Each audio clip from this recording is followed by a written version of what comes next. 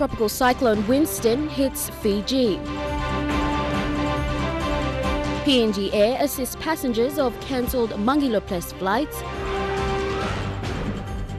And Correctional Service Minister concerned about lack of statistics.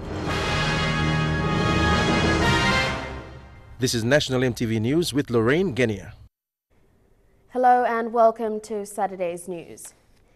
A swap arrangement has been agreed on by the PNG Air management for passengers who have purchased tickets for the cancelled Travel Air service. Passengers will travel free of charge on PNG Air on the same rate, route. This week, a court order was issued for Travel Air to cease its operations pending the hearing of a case relating to its alleged failure to pay lease fees to aircraft owners, an American-based company, Aero Century Corporation. Four aircrafts were leased to Travel Air in 2011. In a statement received by EMTV last night, according to Chief Commercial Officer Paul Abbott, PNG Air made this arrangement to assist stranded passengers. Mangi Lo Ples passengers with unused tickets will travel free on PNG Air on the same route. Mr. Abbott said a careful decision was made because of the sudden cancellation of flight operations, this will affect travel plans for many passengers who have chosen to fly with Mangi Lo Ples. PNG is willing to help passengers who have already bought and paid for tickets to travel on Mangi Lo Ples. And PNG Air will help to ensure that people can still connect with friends and families. Mr. Abbott said that any customer of Mangi Lo Ples who has a valid unused ticket can exchange their ticket for a space available on a PNG Air service. There is no additional payment. Mr. Abbott said that PNG understands that for many people, funds are scarce and they cannot afford to just buy another ticket while they wait to see if they can get a refund on their cancellation ticket. PNG understands the situation will affect the traveling public and will do its best to help passengers. Mr. Abbott said that this ticket swap arrangement will be available until Monday, February 29. Passengers on cancelled travel air services wishing to swap to PNG Air must present their unused ticket to the nearest PNG Air sales office throughout the country. Fabian Hakelitz, National EMTV News. Mendi Nursing College in the Southern Highlands province is struggling to build capacity while enrolling students. Power outages and sourcing water is a daily issue for students and staff. Despite these challenges, 67 nursing students graduated with a diploma in general nursing yesterday. Mendi Nursing College is a government-run institution and is the only higher learning institution in Southern Highlands province. Over the past years, challenges faced by the college has been given little attention.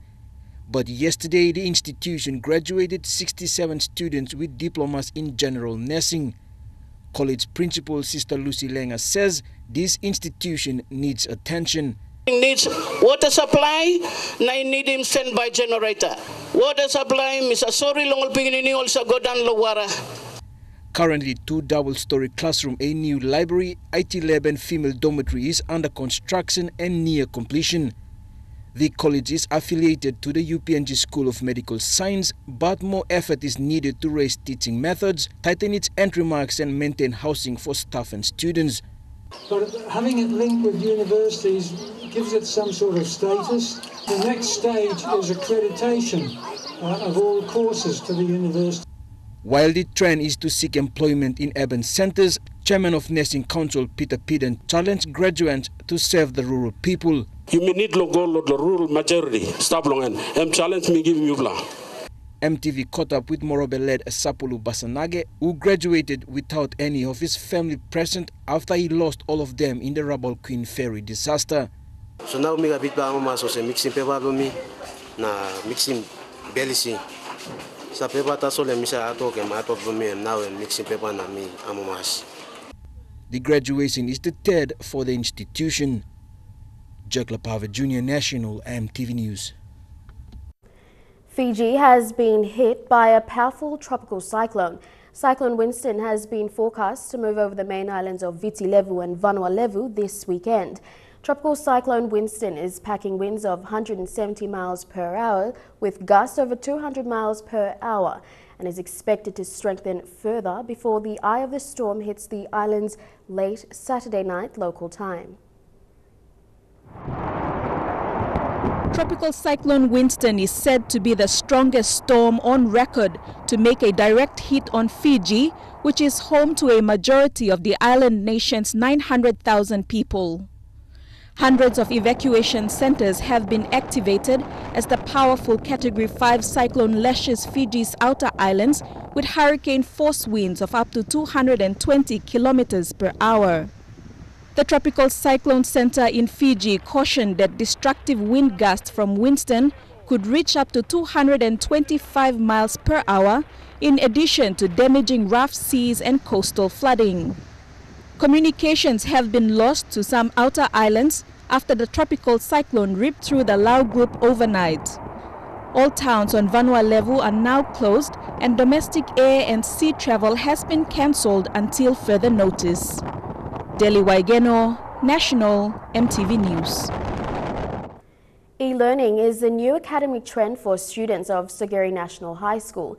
With the school's newly established state-of-the-art learning facilities paired with the establishment of Wi-Fi systems on campus, students literally have information on their fingertips. Sogeri National High School has now set the bar for schools of excellence nationwide. Among school facilities officially commissioned yesterday was the school's newly established auditorium. The auditorium was designed to university standards and came with one of technology's most ingenious inventions, the smartboard, designed to interact with students like a teacher would. The smartboard's capabilities range between running virtual scientific experiments, running tests to students' laptops via Wi-Fi, and providing information from an e-library database. Students were allowed to access the information database, however it is strictly monitored by teachers to avoid misuse of their Wi-Fi privileges on social media. Uh, the kids now they are more of with the gadget they're addicted to the gadgets like they go to the social media they spend a lot of time. So to, it's very hard for us to control them. So what we are thinking that we will go in their own way. So we will also try to educate them through that media new medias. Science students in particular were fortunate to have their science facilities and library commissioned yesterday as well. The facilities, valued at around 1.8 million kina, was constructed under Pan Trade Pacific and commissioned by a former student and Board of Director for Trade Pacific, Ronald Tovue. So as much as possible, we would like to see things that contribute to quality learning. And these are some of the things that are happening. For example, uh, having uh, three disciplines of science uh, the students wasted no time in using the equipment. Melissi Goviro, National EMTV News. The major prize for the nationwide Christmas promotion for South Pacific Paint was drawn today. The promotion started last November with minor scratch and win prizes. However, today one lucky winner picked up the major prize. Henry Tao of Port Moresby is now the new owner of the Hiace bus. His name was selected out of hundreds of entries in the draw. I'd like to congr congratulate you that you have won a, a high band. Customers had to purchase a Nippon paint to enter the draw. National Sales Manager Mr. Ashin Sahi said that they had been operating for four years in Papua New Guinea and it was important that they try to reach out to customers. We try and reach our consumers wherever we can. And it's also nice when we can give something nice away. South Pacific Paint specializes in supplying paints for homes, and Sahi also said they were grateful to people of Papua New Guinea for the continued support of their quality products. Each and every customer of South Pacific Paint who has purchased Nippon paints will have a chance in this lucky draw. In the same note, I would like to personally thank my entire South Pacific Paint team. Adelaide Sirox Kari, National EMTV News. Correctional Service Minister concerned about lack of statistics. That story and more when we come back.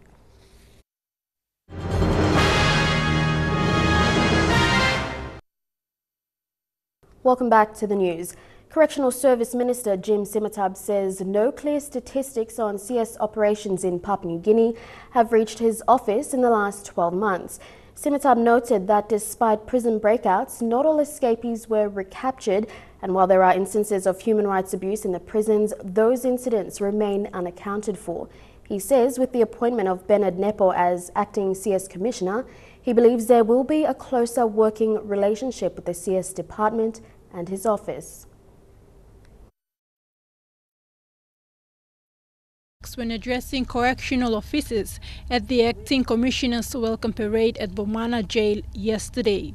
Simatab said for too long ill practices within the jail premises in the country go unreported and CS will be seeing a change in the way the operations are run.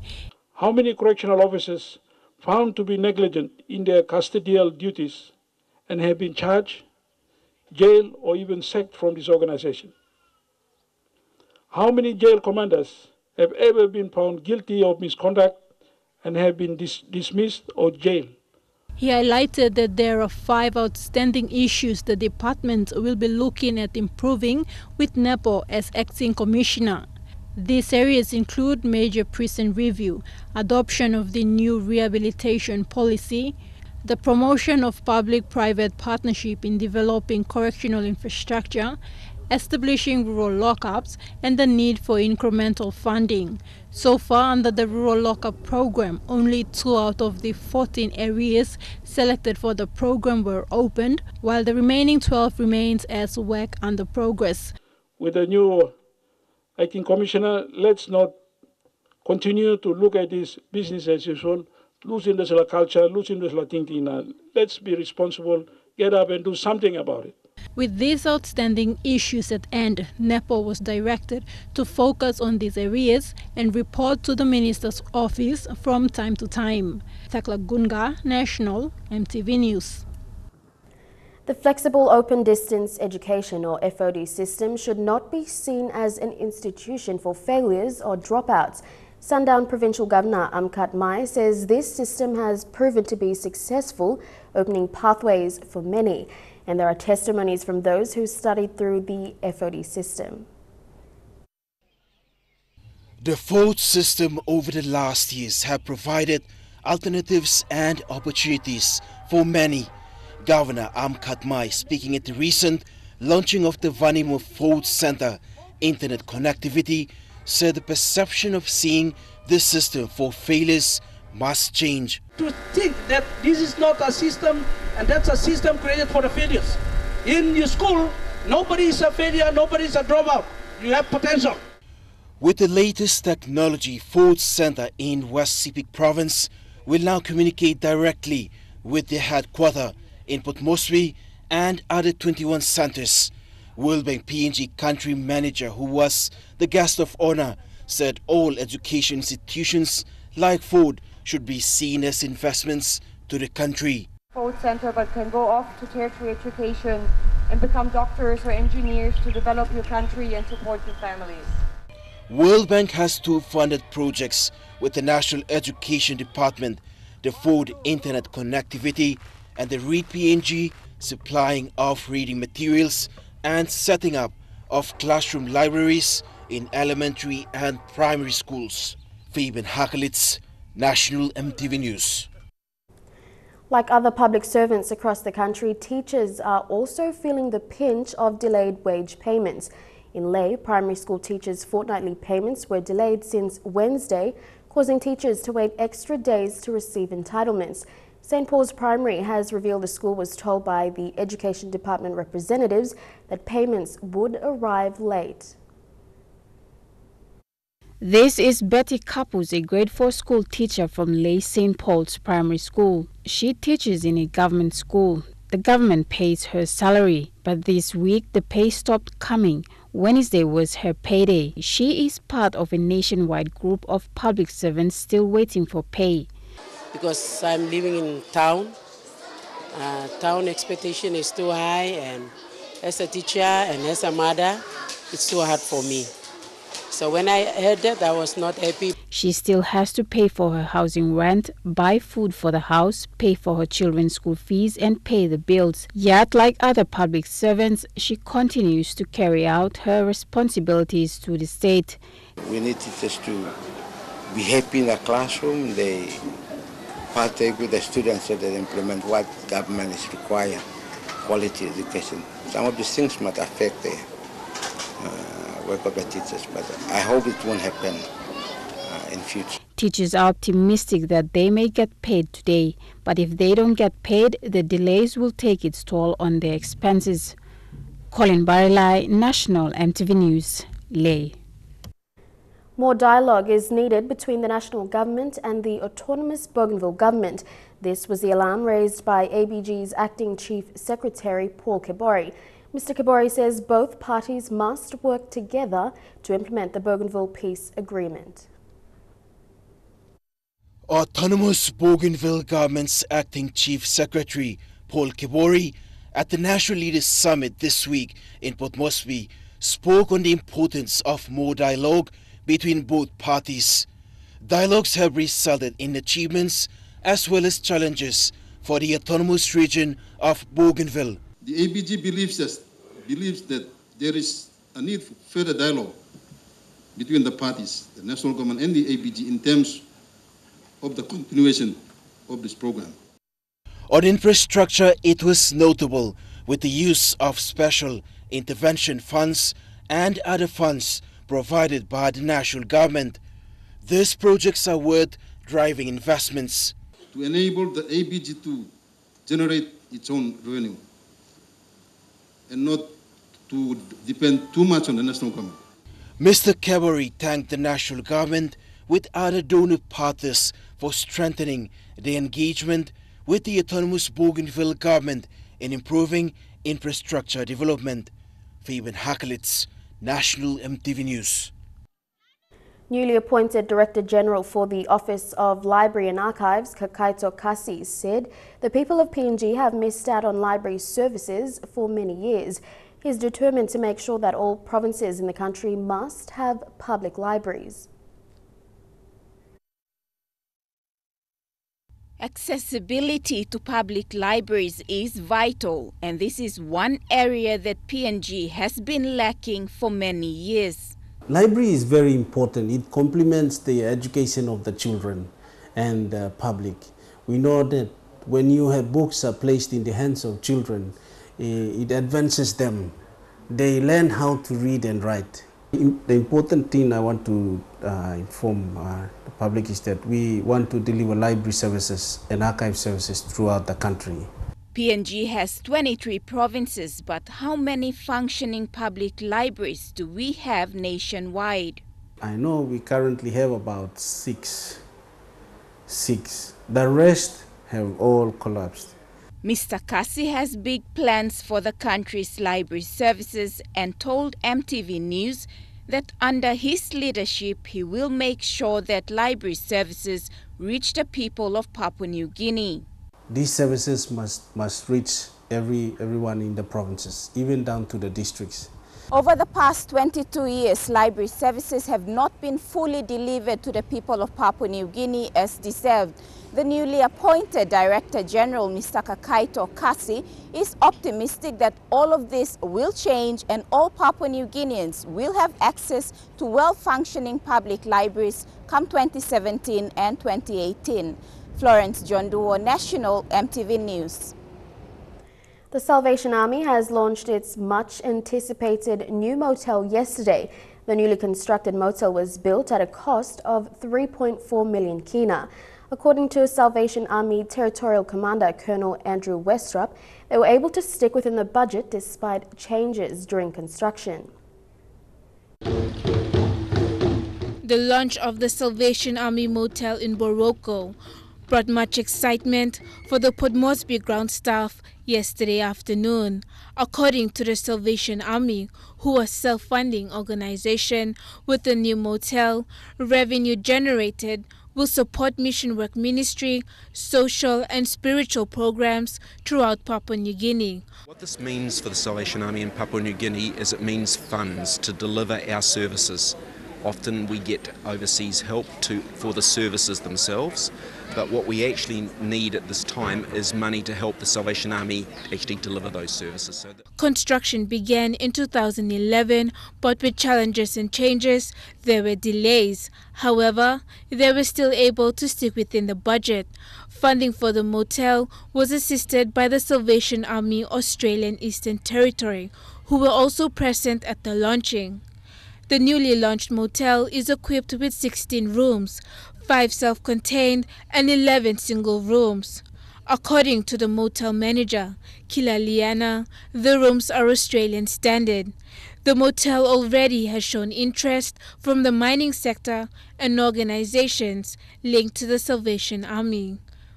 Everything we've got in there is first class in terms of facility. It's like the best for comfort. So I'm pretty sure that it will go really well. Marilyn Diaukatam, National EMTV News.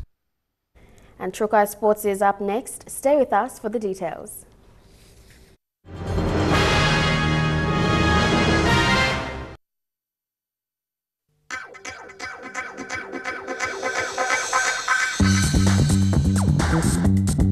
Trukai Sports.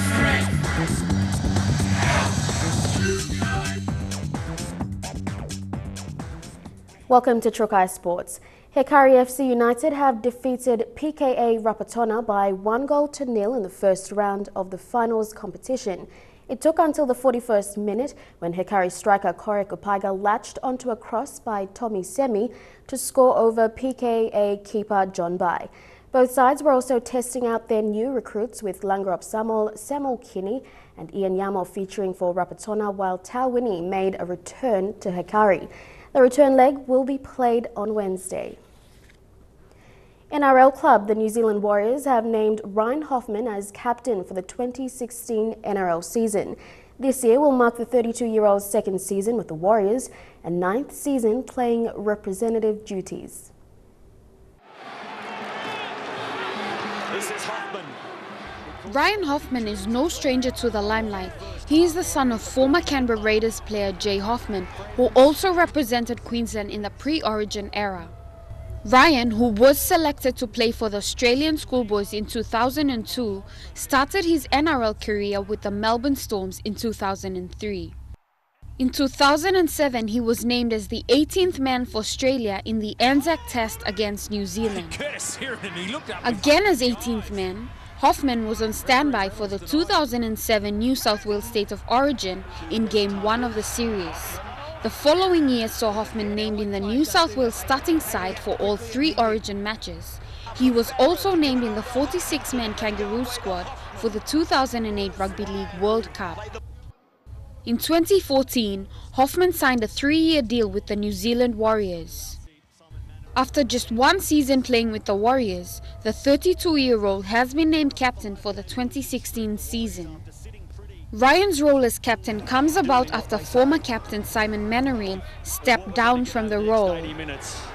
Hoffman is the second Australian to have captained the New Zealand side after Steve Price. Jaylee Sapies, National EMTV Sports. And Trukai Sports ends on that note. You're with the details after the break.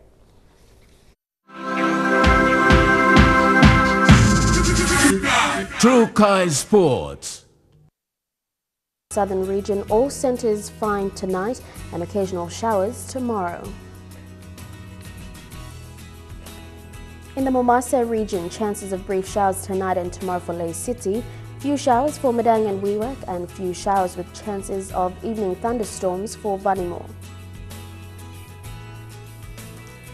In the New Guinea Islands, showers for Kimbe, showers to light moderate northwest winds for Lorengau, and showers and developing rain for Buka, Kokopo and Rabaul. And in the Highlands region, showers and morning fog for Goroka, showers with occasional thunderstorms and morning fog for Mount Hagen, Mendi and Wabag.